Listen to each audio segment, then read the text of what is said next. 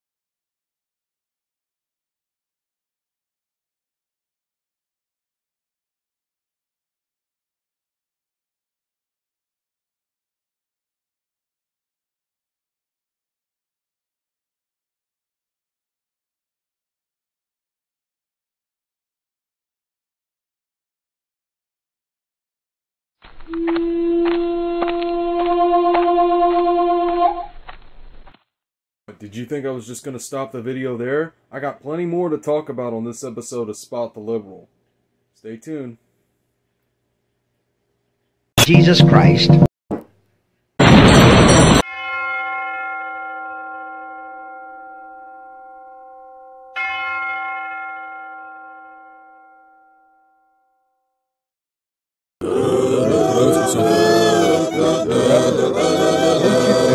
Maybe our founding fathers no! What the fuck are you talking about? Jesus Christ. around. Let's get to it. So apparently, these Texas Democrats abdicated their duties as representatives of the Texas population. They left their jobs on a plane because they were tired of being scrutinized and targeted. These people are losers, ladies and gentlemen. These people are losers. They will never amount to anything other than money and power hungry lobbyists constantly bribing them to stay employed.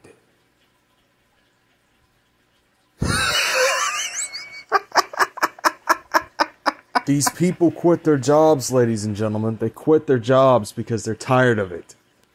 They're tired of getting all this money and yet they don't want to give up that luxurious lifestyle, do they? No, they don't because they're losers. See, here's the thing Richard Goldberg recently posted on Twitter every U.S. official who meets with King Abdullah II next week should be asking him to honor Jordan's extradition treaty with the United States, including the POTUS. This is unacceptable and will undermine congressional report or support, I should say, for Jordan if not resolved quickly. See, this is unacceptable. Jordan breaking away from the United States is worse than the captains of the Titanic not noticing an iceberg before they hit it. Yes, it's that bad. Just like the presidency of Joe Biden is that bad. You wonder why it costs so much to live now? Because the dumbasses in charge of our Congress want to raise the prices up a bunch. And they want us to pay for it. Nope, that's not how it works. Here's the thing we are this freaking close to not being a free United States of America anymore.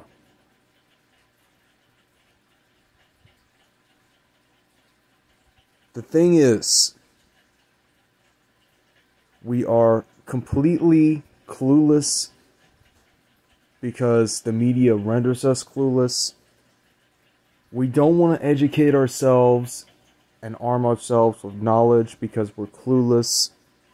And besides that, we don't know who we're voting for, so we just assume the people that have been employed by us for decades can continue to do their jobs effectively, which they have not. They've never done their jobs effectively.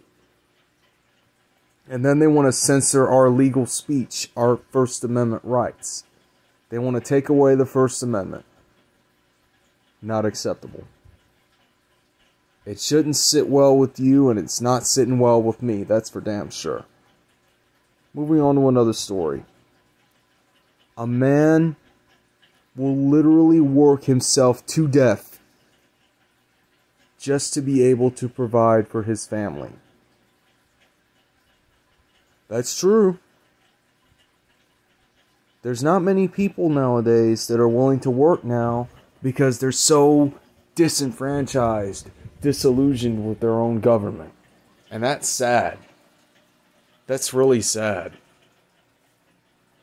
You know, I don't understand why people would rather just sit at home and do jack shit and get a paycheck from the government every month.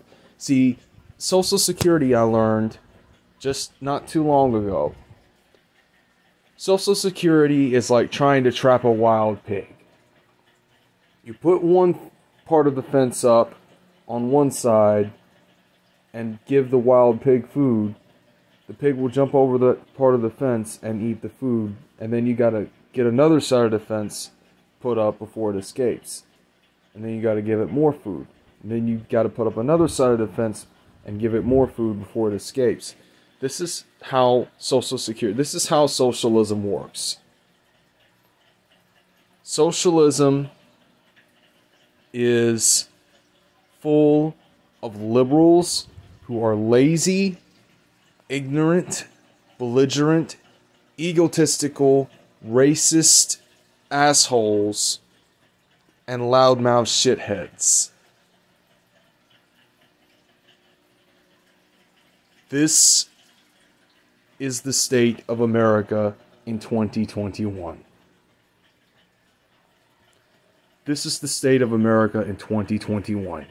We have allowed ourselves to let our own government, which we employ and have employed, dictate the way in which we live. And that's not how this country is supposed to work. The way I understand it, America is run by the people that built it, not the government that they elect. It's the people that decide which congressional members to get rid of and which congressional members to keep. And by the way, does it not bother you that a president's own biological son is profiting off the ass?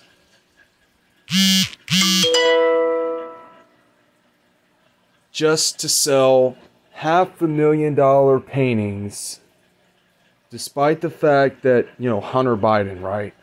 Hunter Biden, the same Hunter Biden that was gifted a job by his father, Joe, also known as This is Will of Fortune, Joe Biden. You get what I'm saying? Let me explain something to you. Peter King famously said, It hurts all Americans to think that a president's son is profiting like this off of his own name. And it is sad. Because Hunter Biden now gets to do whatever the hell he wants because his dad is president of the United States. He gets to sell paintings at half a million dollars a pop. Paintings that aren't even good. I mean, if I'm going to have to pay $500,000 for a damn painting, it better be the best painting I've ever seen. Oh, and by the way, Revolution of One on Twitter gives this advice to you and me because we all need this reminder because it is so freaking important.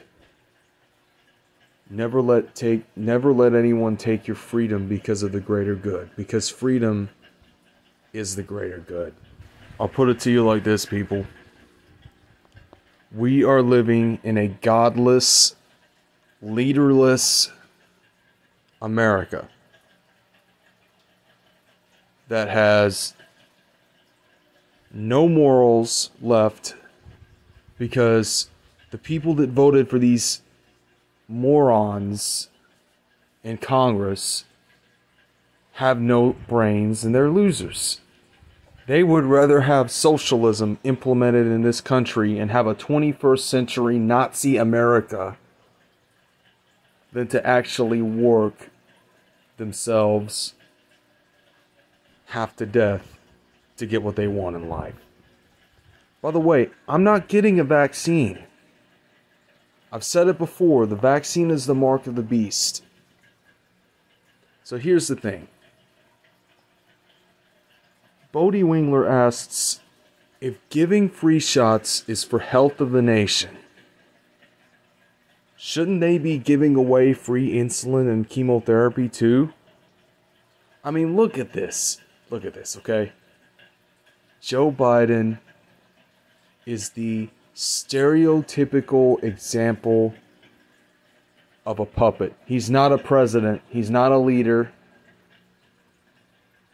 I didn't vote for him, but that's not going to stop YouTube from shutting down my channel. Now, is it? Here's the thing I will not be getting a vaccine because my immune system works, and I'm not going to sacrifice my immune system for two shots, two jabs into the arm. That's not going to do anything other than kill me. If you have a good working immune system, do not get a vaccine.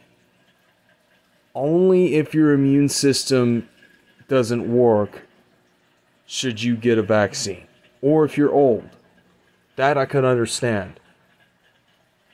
Okay, so Randy Quaid, right?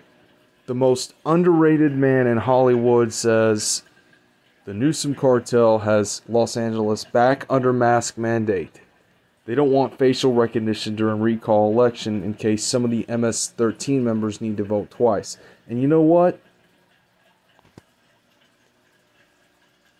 Los Angeles is a complete and total dystopian wasteland.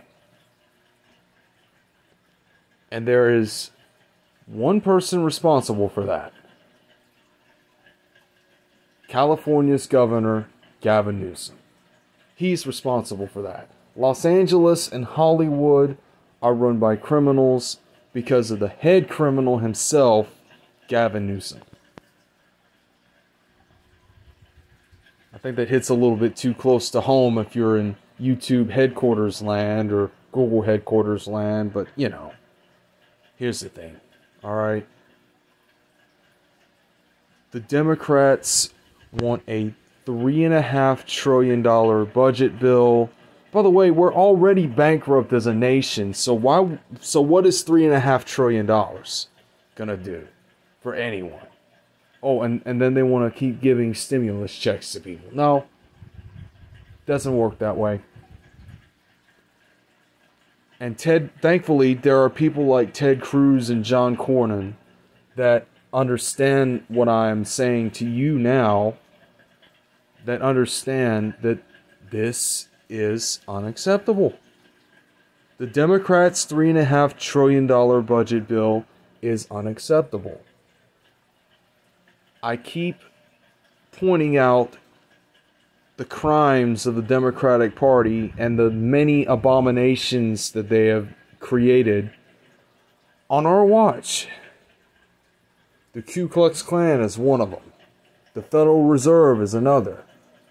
The presidency of Barack Obama, which lasted for eight freaking years. I don't know how I was able to survive it. I don't know how my family was able to survive it and the potential presidency of Hillary Rodham Clinton, which clearly never was.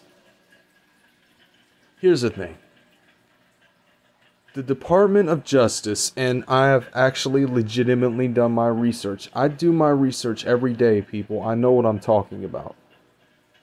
the Department of Injustice could not locate almost 60 of the 96 phones used by Robert Mueller's special counsel team.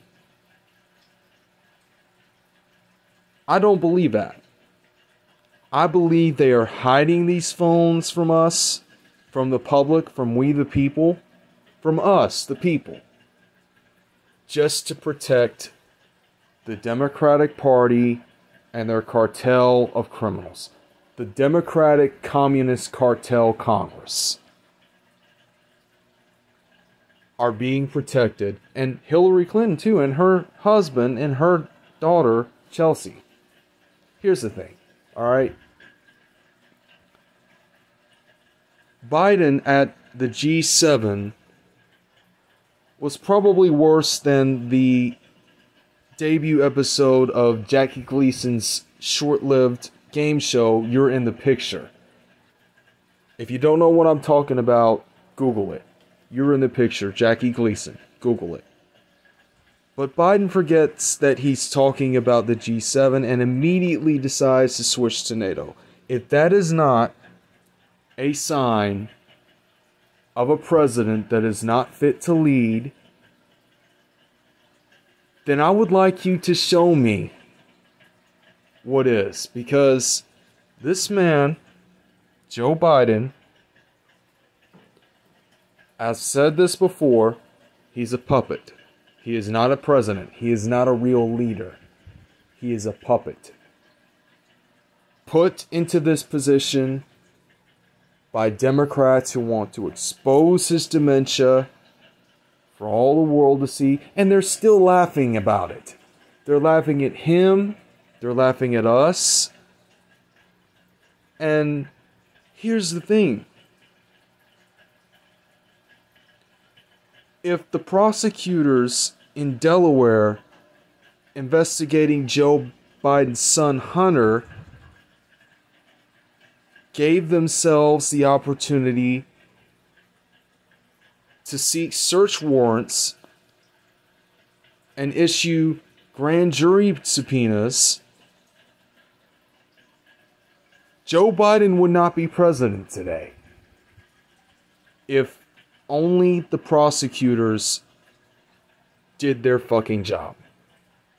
And because the prosecutors and the federal officials in Delaware didn't do their fucking job, we now have a president who is being exposed for his cognitive failures.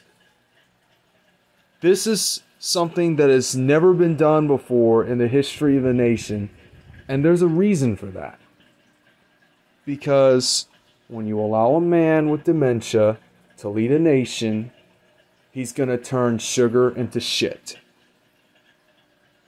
And here's the thing speaking of turning sugar to shit, Alexandria Ocasio Cortez, the dumbest person to ever be elected to any electoral position in any nation ever, blames the cruel U.S. policies towards Latin Americans for the Cuban crisis that is going on right now. Oh no! of course she does. She's just. Here's the thing, okay? Listen. Every time a politician speaks, they are by default lying. Every time a Democrat talks and opens their dumb fucking mouths, they are automatically lying. Anytime an Obama appointee or a Biden appointee or any of those so called journalists and experts and scientists that the media promotes opens their big freaking mouths because obviously big lips and loose lips sink ships. They're automatically lying. And according to donald trump jr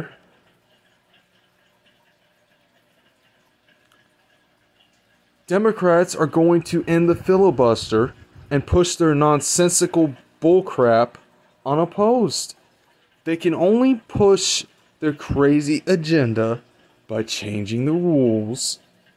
So we have to do something about it. There is a petition that he links us to that we can sign at any time to save the filibuster. It is so important to retain and keep the filibuster active because if we don't keep the filibuster active, Democrats will completely turn this country into 21st century Nazi Germany. And you see, you think you think things are bad now. Over the next couple of years it's going to get a lot worse. Ron DeSantis, if I'm not mistaken, I think that's his name. His the Florida governor, basically. Florida Governor DeSantis says that Cuban patriots are fighting their own government, which is now a dictatorship and has been for decades. Think Castro. Think Chavez. Okay? Cubans are engaged in the noble cause of fighting a communist dictatorship. They know that they don't have any guns to aid them in this fight, but that's not stopping them from fighting their battles. We don't even want to fight ours, despite the fact that we still have our guns. And yet the government wants to take away our First Amendment rights, our Second Amendment rights, our constitutional rights in general, and we are too chicken shit to fight our own battles because we are that accepting of mediocrity. Ted Cruz says the communist dictatorship in Cuba is evil, oppressive, murderous, and torturous. The Cuban people want freedom. Okay, now here is the here is the thing about Cuba's dictatorship. If they had fought for their freedom seven decades ago, they wouldn't be facing this problem now. It's good that they're facing this problem head on and actually trying to resolve it themselves, but this is a this is a fight they should have started seven decades ago, back in the 50s, back in the early 50s. So the thing is, of, of course, dumbasses. I mean, I mean Democrats. You know what I mean. Democrats are dumbasses. So Democrat and dumbass are basically the same thing. Democrats oppose the Cuban resistance against the communist dictatorship. Well, here's the thing. All right. Why should we be fighting a battle in another country when we can't even fight our own battles here?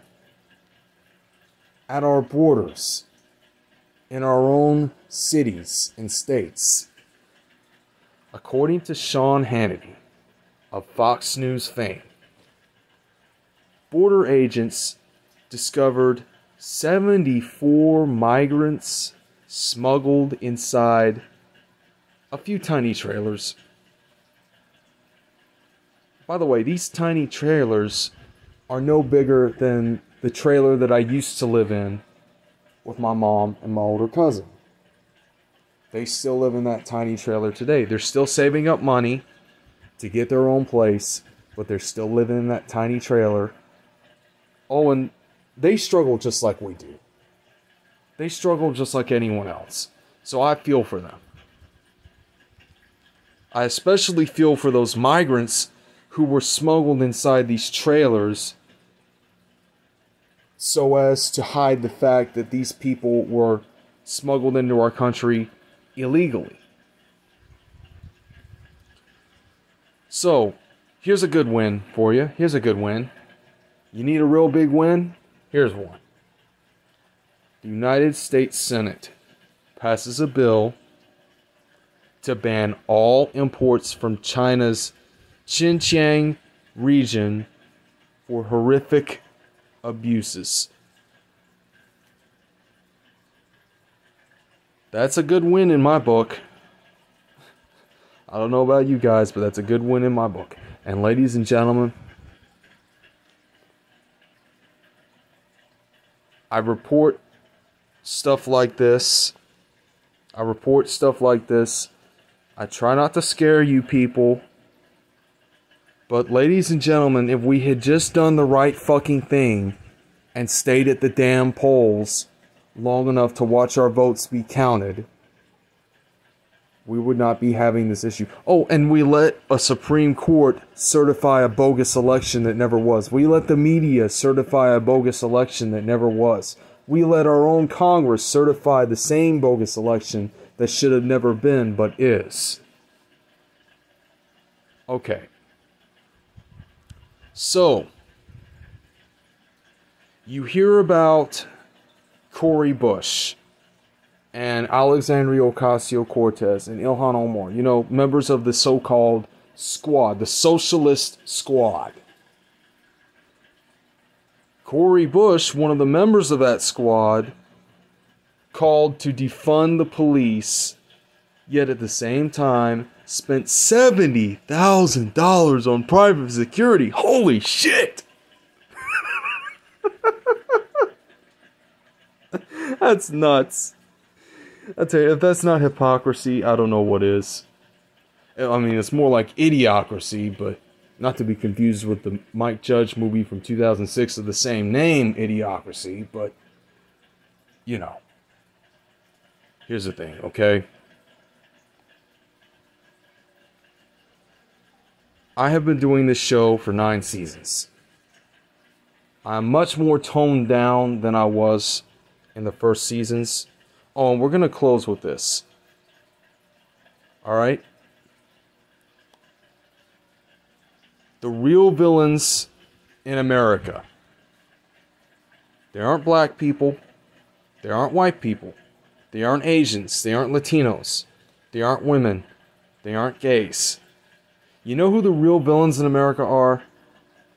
The journalists, the so called teachers and professors who do nothing but sow division between us, the American people. Those are the villains we should be targeting. We shouldn't be targeting ourselves. I mean, hell, if there's something to go on, at least you could go on this.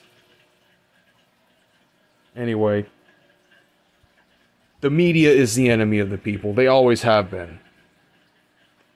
They have been for decades. Anyway, that's going to do it. I'm Kevin the Skull Anderson. Thank you very much for watching this episode of Spot the Liberal. I look forward to seeing you guys on the next one if YouTube doesn't shut this damn channel down first. Goodbye.